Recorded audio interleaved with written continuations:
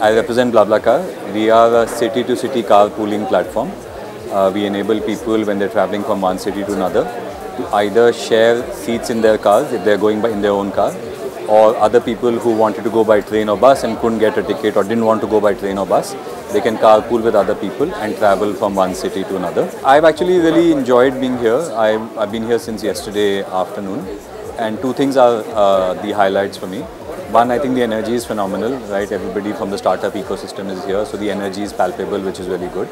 And second, I've had the opportunity to really listen to some very good talks.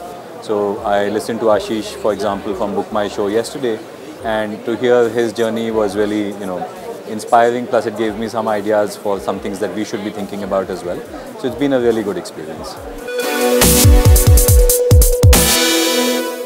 We are one of the biggest infrastructure as a service provider in India. We service over 500 startups. We at Content Mart, it's a marketplace, online marketplace that's connecting freelance writers with content buyers on this platform.